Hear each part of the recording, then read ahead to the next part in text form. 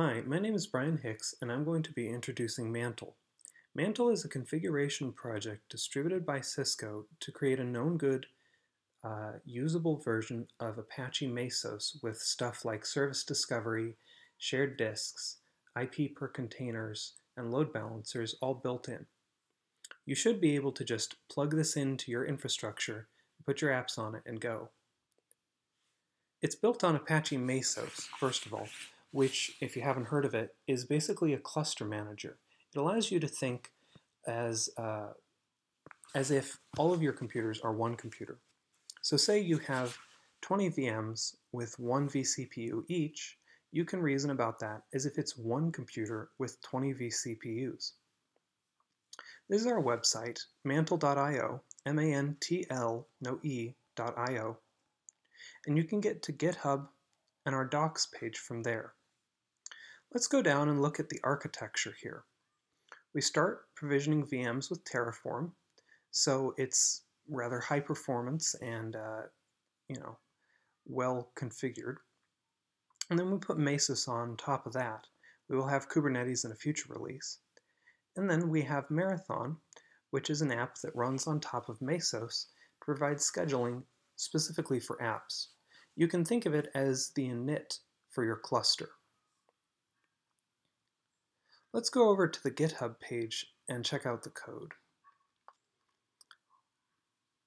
Notably right now, it's at Cisco Cloud slash microservices infrastructure. We recently renamed this project to Mantl, but the old remote remains still. It may have changed by the time you view this, so just check out mantl.io and it will have the correct link. We're going to scroll down here, click on Getting Started. So the first thing you want to do, obviously, is check out the remote with, uh, with Git, and then run git tag. You always want to be running the latest version. Um, so in this case, it's 0.3.0, but we're about to release 0.4.0, so do check git tag when you pull. The next thing we're going to need to do is install the requirements. Mantl is built with Ansible, which means it's a Python project, and so we have other requirements for that in this requirements.txt file that you can install with pip. Then we'll run the script security setup, which makes a certificate authority and sets passwords and encrypts data that you'll need to run in your cluster. And lastly, to get a single node set up, you can run Vagrant up. I've gone ahead and created a larger cluster in a cloud so that I can demonstrate what we have going on. This is what you'll see when you navigate to one of these so-called control nodes. We have two roles, uh, control nodes and worker nodes. The control nodes run the, the master services here, and the worker nodes run you know, the tasks that you define. So we can click any of these and go to the UI for the specific tool. You can see here that I, uh, I had a whole bunch of test instances that I uh, you know tried and spun up and failed. Um, and then you can see I have a couple of apps running. I have six CPUs and 2.6 gigabytes of memory available in the cluster, of which I've used 0.2 CPUs, uh, 2 tenths of a CPU that is, and 256 bytes or megabytes of memory. And then we have the following resources idle and offered. And then we have this number of slaves active. Uh, do note that this slaves terminology is going to change. As of Mesos 1.0, it will be called agents. I'm going to open up our main page back there in another tab and go down to Marathon. Marathon is, as I said, the init manager for your cluster, and we should be able to, uh, to create a new test app here. So we're going to call it test, give it a tenth of a CPU, 16 megabytes of memory, no disk space, and one instance. We're going to run python-m simple HTTP server to give us just a simple process. We don't have to specify an executor, and we want a random port, so we specify 0 here.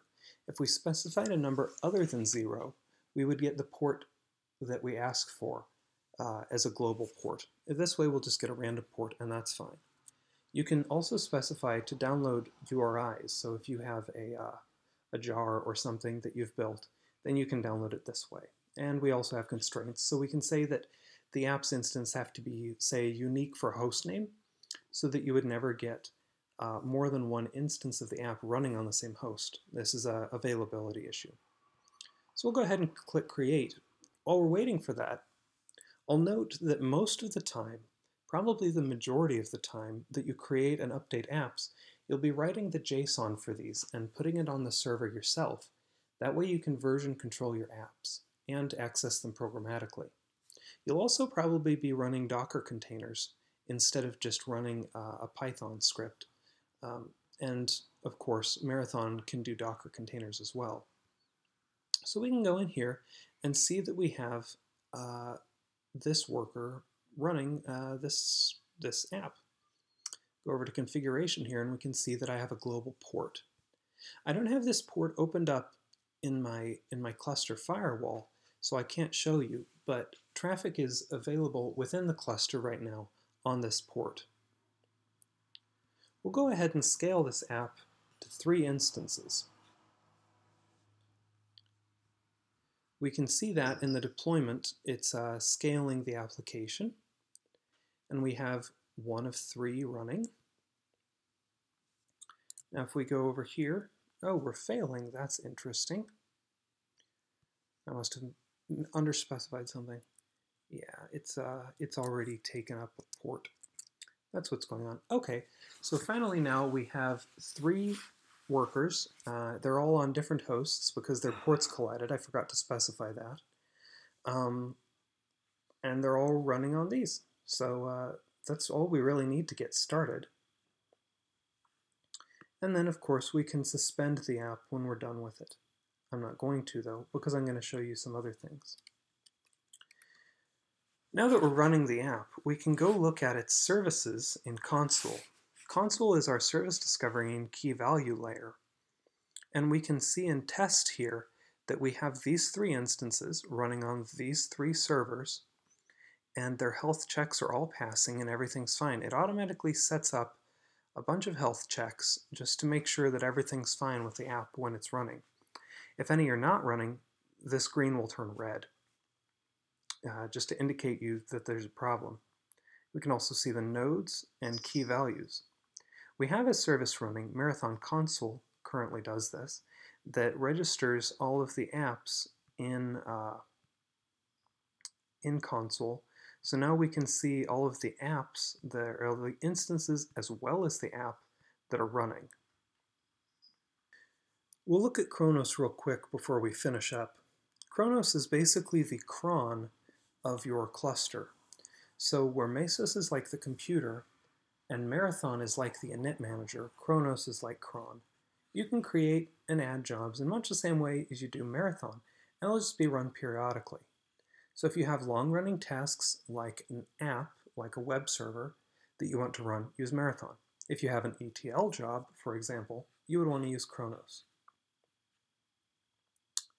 To recap, the code and docs and everything are available at github.com slash Cisco Cloud slash microservices infrastructure, or you can go to mantl.io. That's M-A-N-T-L.io. Thank you.